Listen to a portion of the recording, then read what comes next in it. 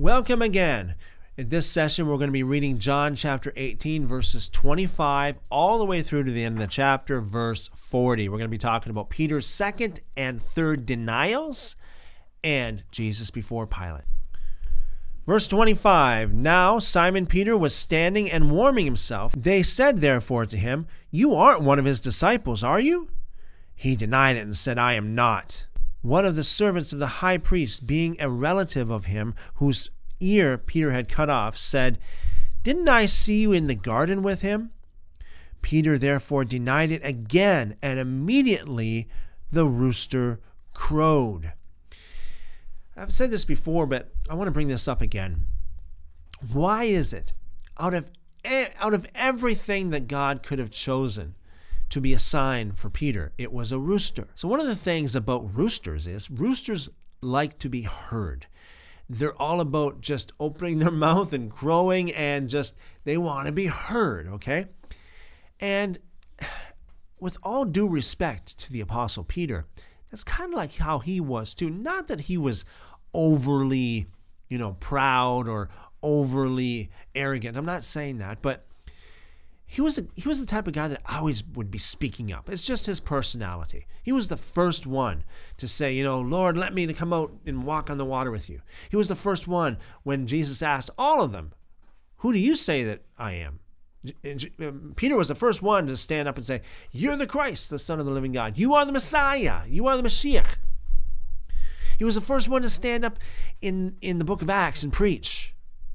He seemed to be the type of guy that would just always like to, you know, I don't know, it's just something about him, you know, sounding off, okay? Like a like a rooster almost, okay?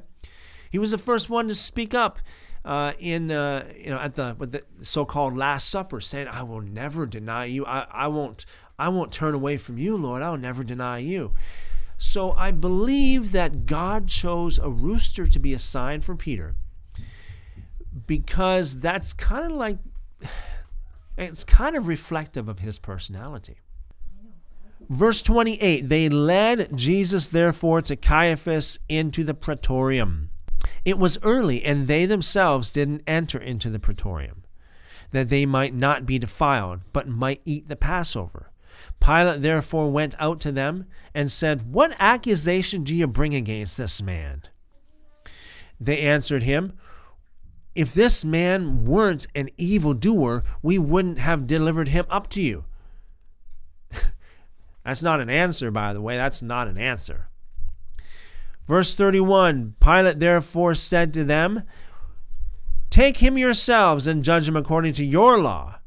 Therefore the Jews said to him, It is illegal for us to put anyone to death, that the word of Jesus might be fulfilled, which he spoke signifying by what kind of death he should die.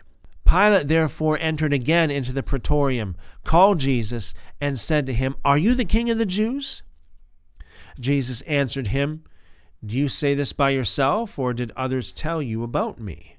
Pilate answered, I'm not a Jew, am I? Your, your own nation and the chief priests delivered you to me. What have you done? Jesus answered, My kingdom is not of this world. If my kingdom were of this world, then my servants would fight, that I wouldn't be delivered to the Jews. But now my kingdom is not from here. That is a stark contrast to another world religion who is more of a geopolitical religion their kingdom is of this world. You know what I'm saying? They fight and they war and they reign by terror because their kingdom is of this world. Yeshua, Jesus, Isa said that his kingdom his kingdom is not of this world. That's why none of his disciples fought. Verse 37 Pilate therefore said to him, Are you a king then? Jesus answered, you say that I am a king. For this reason I have been born, and for this reason I have come into the world, that I should testify to the truth.